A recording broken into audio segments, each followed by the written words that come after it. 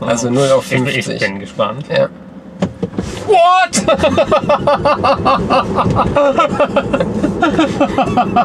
Das ist ja wie eine Achterbahn.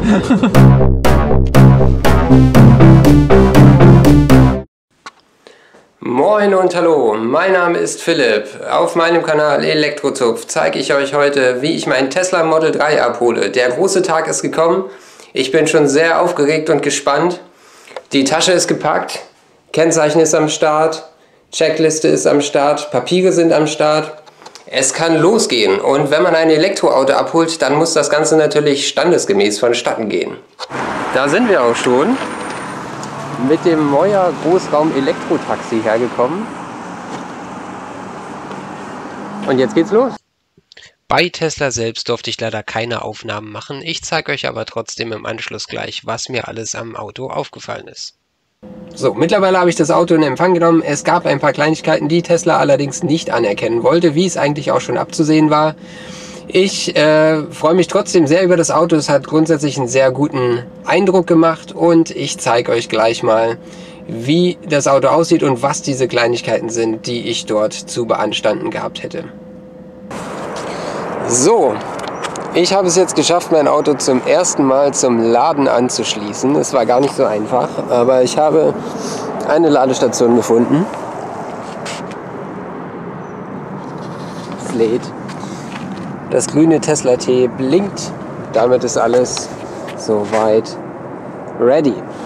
Ich möchte euch jetzt einen ganz kurzen Überblick mal geben über die Punkte, die mir bei der Fahrzeugabnahme aufgefallen sind, die Tesla aber wie gesagt nicht anerkannt hat als mangel- oder behebenswürdig. Da geht es direkt hier vorn los. Ich versuche es mal so dicht wie möglich ranzukriegen. Da, diese Nase dort. Ich bin mir nicht ganz sicher, ob da was abgeplatzt ist. Auf jeden Fall ist die Stelle dort aufgeraut und Tesla hat gesagt, ach, das ist nicht schlimm. Das ist eine kleine Lacknase, die ist voll in der Toleranz. Dann gehen wir weiter nach vorn. Es ist jetzt ein bisschen schwierig wahrscheinlich zu erkennen durch diese Fischaugenoptik von der Kamera, aber vielleicht erkennt ihr es. Spaltmaß.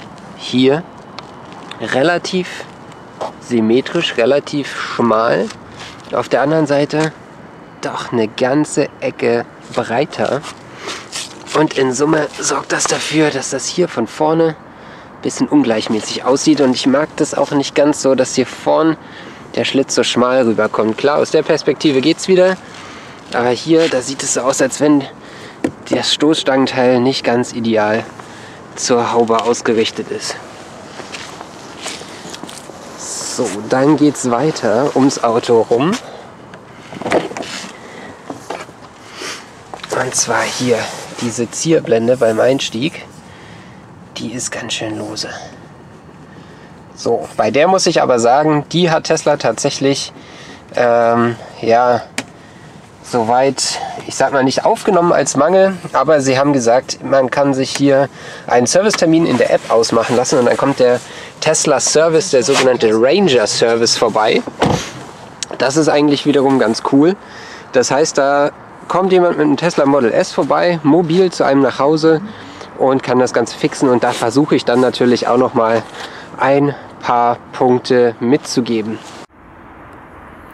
So, jetzt schauen wir uns das noch mal auf dieser Seite an. Und zwar in der Rathausführung im Rathaus haben wir dort die Rathausschale. Und seht ihr das?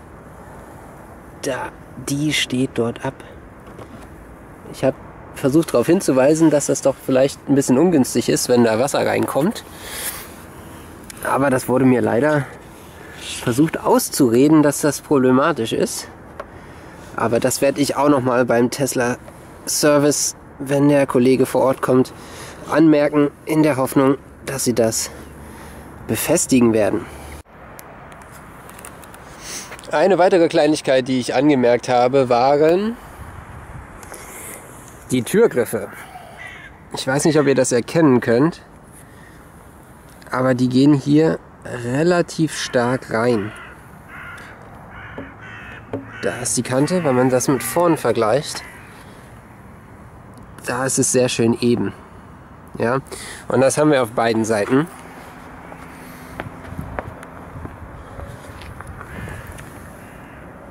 Hier auch, da sieht man es ganz deutlich, wie tief der Griff hier drin liegt. Wohingegen hier das Ganze sehr bündig abläuft. Was haben wir noch?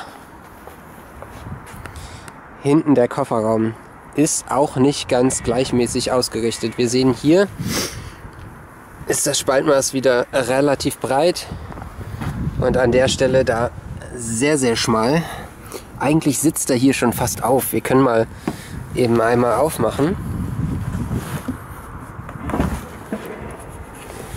So, da ist nämlich ganz wichtig, dass hier der Kofferraum nicht aufliegt an der Stelle. Und das ist hier schon grenzwertig. So, und dann ein Klassiker. Liebe Grüße an den Owe Kröger. Die Dichtung hier sitzt falsch. Die müsste eigentlich über diese Kante hinauslaufen. Die kann man aber wohl selber rausnehmen und dann nochmal richtig einsetzen. Automatische Haube schließt. Ach übrigens, da habe ich noch was richtig zu stellen. Der Kofferraum. Ich habe gesagt in meinem ersten Video, Kofferraum vorne und hinten zusammen haben ein Volumen von über 500 Litern. Das ist leider nicht ganz richtig. Das Volumen beträgt leider nur 425 Liter laut Handbuch.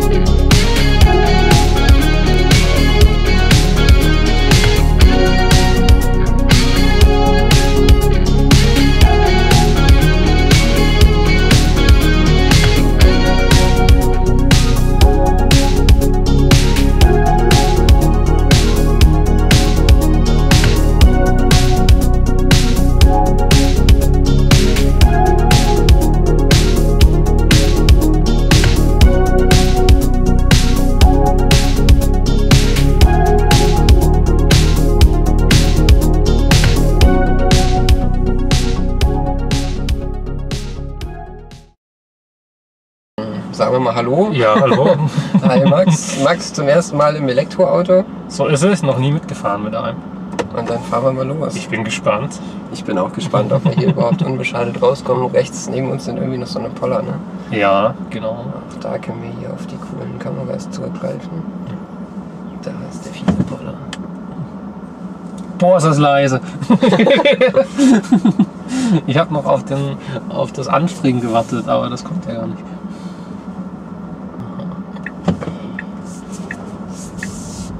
Boah, das ist ja krass. So leise.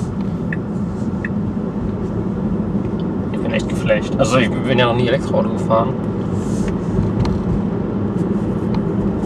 Du hörst ja, du hörst ja wirklich nur die Räder. Gar nichts von. Ja. Ja, er summt ein bisschen. ja. Das ist auch ganz witzig. Du kannst hier What?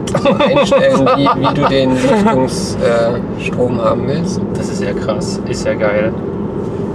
Und hast halt keine Ventilatoren mehr, die du irgendwie so dir zuwählen Ah. lassen musst. Genau. Das ist ja abgefahren. ja, du siehst ja, was er hier alles erkennt. So, ne? Ja, das habe ich ja schon gesehen. Was, der, der sieht wirklich hier die, die Autos, erkennt er so, Ja, ja, wie, weil- du- wie du stehst. Stimmt, der hatte diesen Autopiloten drin. ne? Ja, genau. Du kannst ja diese sauteure Option noch nehmen Mhm. für das volle Potenzial für autonomes Fahren. Mhm. Da kann er ja dann außerorts und auf Autobahnen dann auch äh, Spurwechsel machen und auf äh, Autobahnkreuzen sich einfädeln und so. Also sagen, ich muss jetzt auf die abbiege Spur, mach das alles allein, du musst eigentlich nur noch einen Blinker setzen und der guckt halt toten Winkel und so. Und jetzt gibt es als nächstes dann auch, dass er halt bei roten Ampeln dann automatisch anhält und so. Das macht er jetzt noch nicht, aber er hat ja die Technik drin, das zu erkennen und deswegen kann man das hier so optional sich Mhm. mit anzeigen lassen. Sonst zumindest, du siehst das alle. Das ist schon abgefahren. fahren. Dass es auch hier so visualisiert ist, finde ich richtig cool. Ja. Also, Das gibt einem so ein bisschen Vertrauen, weil du weißt, was er sieht. ja, das stimmt. Du, du bekommst ein Gefühl dafür, ob er wirklich alles checkt oder halt. Wobei er halt auch noch nicht davor gefeit ist, so Phantombremsungen zu machen. Also das, er ist manchmal ein bisschen zu vorsichtig und das ist auch so ein bekanntes Phänomen bei Tesla, dass der oder so jetzt, er beschleunigt halt zum Beispiel hoch und jetzt fängt er an zu bremsen. Hm. Man selber hätte jetzt natürlich gar nicht auf Fullspeed Ja. gezogen. ja, gut, das ist halt einfach. Ich weiß nicht, ob er schon so weit sehen kann. Ne? Das, ähm, Ja. Und jetzt zum Beispiel mache ich nichts. mhm. Ich habe die 53 eingestellt. Ach so, fährt, fährt der jetzt von alleine los, oder was? Ja. ist ja geil. Er hält jetzt von allein hinterher. Das ist schon ein geiler Schnickschnack, muss ich sagen. Also Ja. so Spielerei, technisch, richtig cool. Ja, du musst dich halt auf viele Sachen so einlassen. Ne? Also zum Beispiel Scheibenwischer, ja, ich kann den hier einmal antippen und Mhm. auch so, dass er, dass er sprüht. Aber wenn du es halt richtig einstellen willst, dann ist das halt hier auf dem Display. Und Ja. das ist halt schon so eine Sache, ja, okay, muss man halt, muss man wissen. Ne? Hm. Ja, Display ist natürlich jetzt nicht so cool, weil du dann immer auch den Blick von der Straße nimmst. Genau, genau.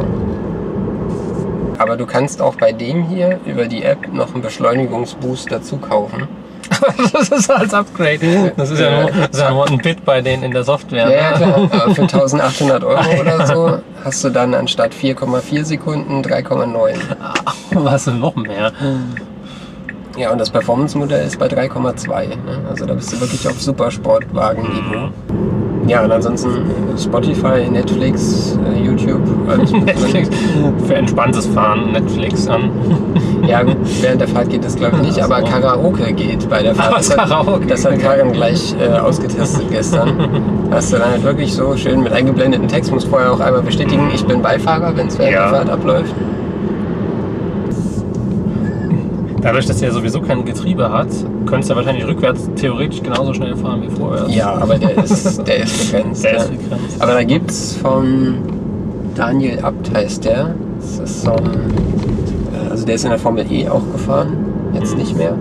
Der hat äh, eine Kooperation mit Schaeffler gehabt. Das ist ein Autozulieferer wie Continental. Und die haben ein Auto gebaut mit, äh, ich glaube, vier Motoren, jeweils an, an jedem Rad eins, als, als Rennauto mit 1200 PS, rein Elektro. Und die können natürlich jedes Rad dann so frei ansteuern, wie sie Bock drauf haben. Also der kann auch auf der Stelle Donuts machen, indem halt die eine Seite so. vorwärts und Und die, andere andere Seite rückwärts, rückwärts. ja, ja. Und der hat versucht, einen Rekord aufzustellen mit maximaler Geschwindigkeit rückwärts.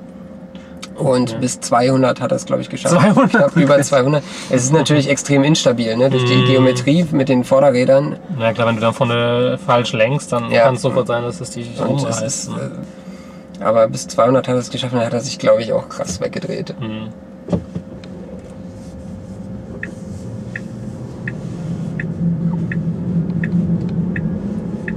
Haben wir ja keinen hinter uns. Jetzt können wir ja mal einen kurzen Zwischenspurt machen. ja, kannst du. Also 0 auf ich, 50. ich bin gespannt. Ja.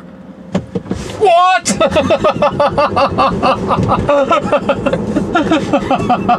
das ist ja wie eine Achterbahn. Ich, ich hab's, oh guck mal, jetzt wäre sogar noch besser. Jetzt haben wir hier doch kurz die 100, ne? Ob wir die schaffen bis zum Ortseingangsschild da vorne? Ich weiß es nicht genau. Also genau am Ortsausgangsschild nochmal. Oh, da hinten kommt einer. Ja, komm, nee, da müssen wir uns aber beeilen. Ja, scheiße. Alter. Da haben wir noch locker Platz gehabt bis zum Ortseingang. Das ist das Geile. Ne? Ja. Und total ohne Drama, ne? Ohne durchdrehende Räder, ohne alles. Hm. Jetzt haben wir unsere Landstraße. So, es ist angeblich auch nur 80. Okay. Ich habe das Schild gar nicht gesehen.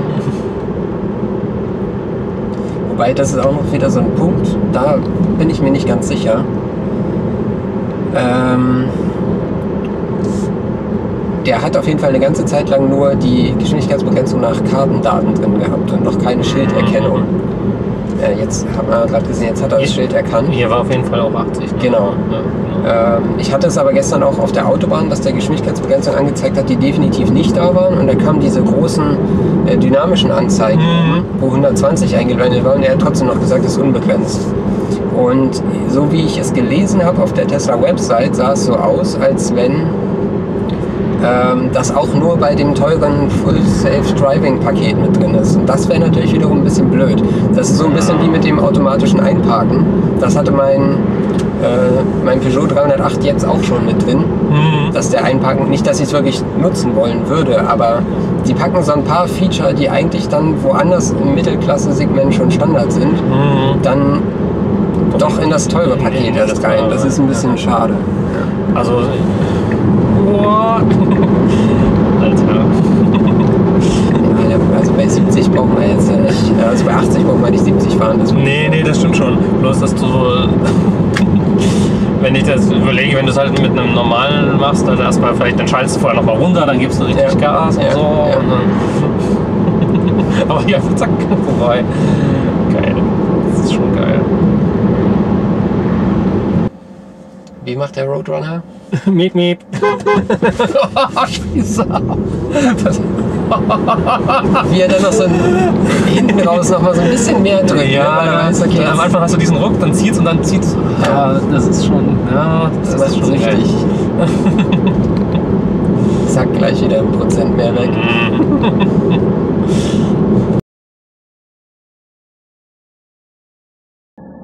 Ja, der Motor sitzt vorne, oder? Ja, zwei. Genau, hat vorne und hinten Ah, okay. hat er einen. Aber die sind ja klein, die sind ja so groß vielleicht. Hm. Also sehr kompakt. Ja, Ist ein Allrad dann auch, oder? Ja. Achso. Ja gut, klar, vorne und hinten. Und du hast dieses One-Pedal-Driving, ne? Also ich habe jetzt noch nicht einmal dieses Bremspedal angefasst, seit wir losgefahren sind. Also wenn du Gas wegnimmst, dann bremst du automatisch. Genau, und speist das ja zurück über, über das Rekuperieren wieder zurück in die äh, Batterie. Jetzt muss ich hier noch einen rüber. Ne? Jetzt hast du aber gebremst, ne? Nee, Auch nicht. nee, nee, ich nur. Woher kennt er das? Dass du einfach. Äh, Also er sagt, innerorts hat er die stärkere Rekuperation drin Hm? und ähm, ja, das, der schaltet dann einfach auf Strom. Also musst du Genau. beim Fahren eigentlich. Kannst du nicht so einfach Gas wegnehmen sozusagen, sondern du hältst einfach immer deinen Fuß Ich halte ihn wie in so einer gewissen Position, genau. Und wenn ich jetzt halt loslasse, das ist jetzt zurückspeisen, ne? Okay.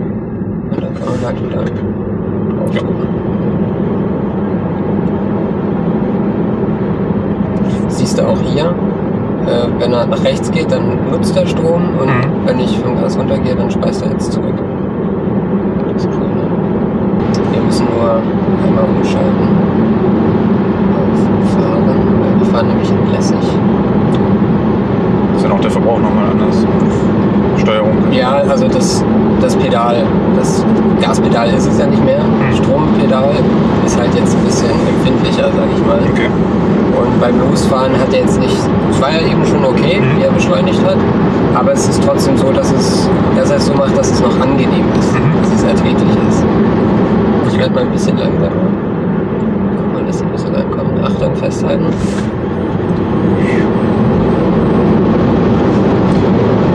Das geht. Da geht was vorwärts, ja. Ja. Wie viele Newton sind das? Ist da nicht ganz spezifisch in den Angaben. Was dann haben die beiden Motoren sind auch unterschiedlich. Die haben halt unterschiedlichen Drehzahl, ihre maximalen Newtonmeter. Also was jetzt diese Gesamtsystemleistung ist, ist schwer zu sagen. Aber er müsste gut über 400 PS haben, auf jeden Fall. Ist jetzt, ich kann ja aber auch nicht sagen, bei welcher Geschwindigkeit. Hm.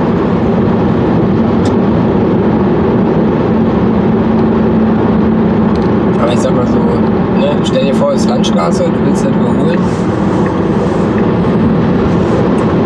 Das geht. Aber 30 km gerade so auf einen Schlag. Ne? Ja. Das ist fast schon zu viel. Hm. Also eigentlich würde man es wahrscheinlich schon ein bisschen dosieren und nicht so. Aber gut, er regelt ja auch, dass er nicht ausbricht und sonst was. Ja, ja, das, das macht er. Das macht er. Das macht er auch wirklich gut. Ich finde, es hat sowas Achterbahnmäßiges. Ne? Das Hm. zieht wirklich in der Magenkuhle, das ist der Wahnsinn. Das, selbst als Fahrer denkst du, okay, es ist jetzt außer Kontrolle. Ja. Ist es ja nicht, aber sind diese, dass es nicht aufhört. Ja, bloß hier regelt halt noch eine Elektronik hinter noch, die noch sagt, so, Auto Ja. kann das und oder die Physik kann das und Ja. dann hört's auf. Also ein unbegrenztes Stück kommt jetzt wahrscheinlich nicht, ne? Äh, doch hier nach dem. Ja. Weil Ich habe gestern musste ich auch unbedingt einmal Autobahn unbegrenzt gucken, Hm. was geht.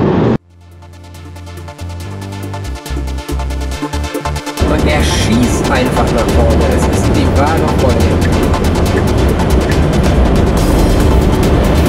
Okay, die Windgeräusche über 200 nehmen ein bisschen zu, aber ich glaube, das ist okay.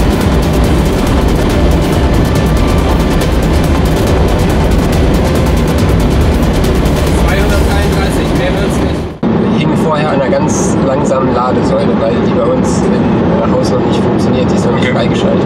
Da habe ich ungefähr von 50% oder so 55% auf 77 hochgeladen Mhm. und das dann innerhalb von 20 Minuten dann runtergefahren.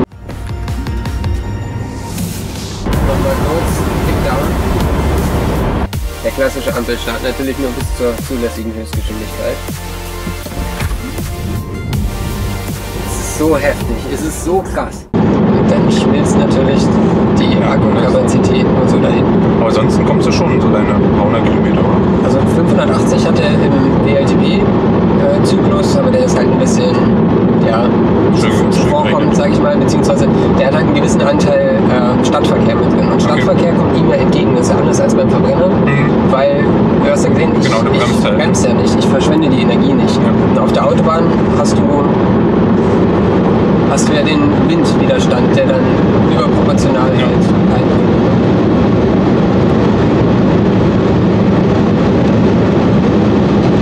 Jetzt ist halt ein bisschen langsam, aber es geht auch bergauf. Ja, ja, ich finde das jetzt nicht so langsam. Ich meine, die Geschwindigkeitszuwachs ist Ja, ja. jetzt nicht mehr so groß. Und ab 233 ist er abgeregt. Okay. Ehrlich gesagt weiß ich aber nicht, für was die Winterräder so ausgelegt sind. Deswegen, Ja, wenn nicht, dann müssen Aufkleber drauf sein. gut, da gehen wir davon aus, dass sie es können, aber trotzdem. Das tust du auch nicht. Nee, das macht er jetzt. Aber, nee, ach nee, macht, nee. Hast du überhaupt Verschleiß? Musst du mal die Bremse wechseln? Du musst eher zusehen, dass du häufiger mal bewusst bremst, Das, damit die äh, nicht vergammeln. Ja, das denke ich, dachte ich mir. Der liegt auch ganz gut in der Kurve. Ja! Aber die Elektronik ist nicht ganz so schnell hinterher.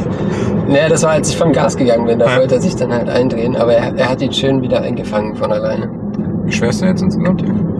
Zweieinhalb? Nee, nee, nee. 1,8 irgendwas leer. Ist noch kein Porsche Taycan. Der ist, glaube ich, bei 2,2 Tonnen und die ganzen SUV-Elektros, die sind bei 2,5.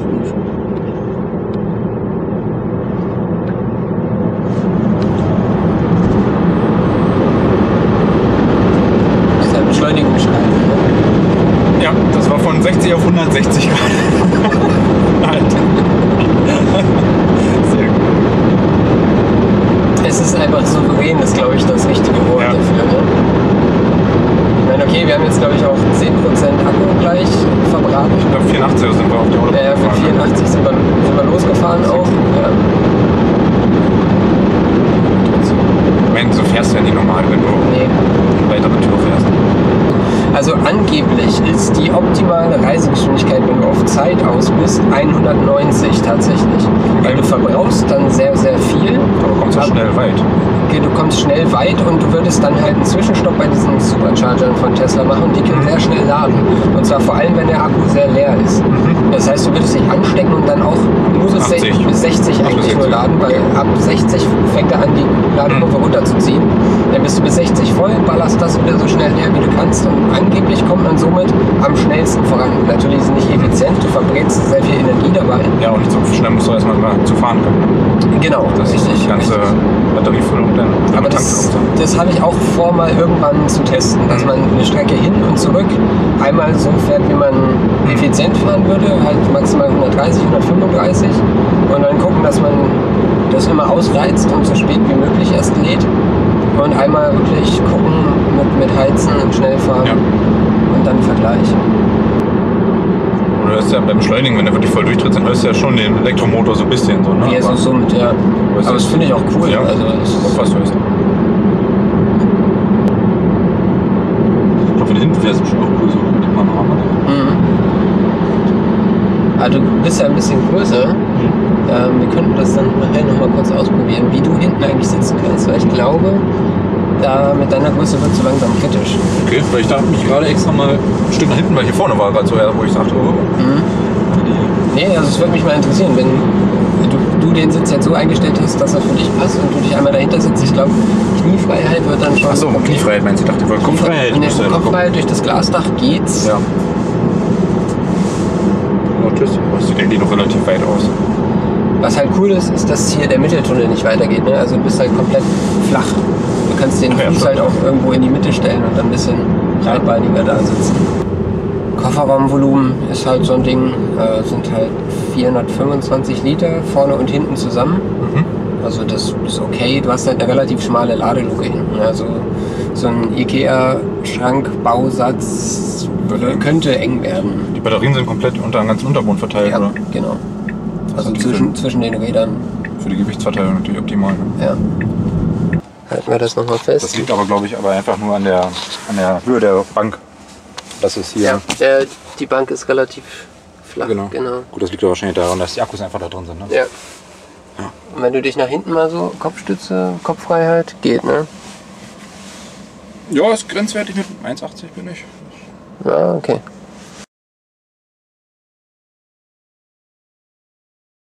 Das waren zwei sehr schöne erste Tage mit meinem neuen Tesla Model 3. Die Abholung hat bis auf ein paar kleine erwartbare Mängel ganz gut funktioniert. Ich habe mir einen Überblick über das Fahrzeug verschafft und eine Art Bestandsaufnahme durchgeführt. Und am Ende haben wir noch zwei Reaktionen gesehen von Leuten, die zum ersten Mal in einem Elektroauto unterwegs waren.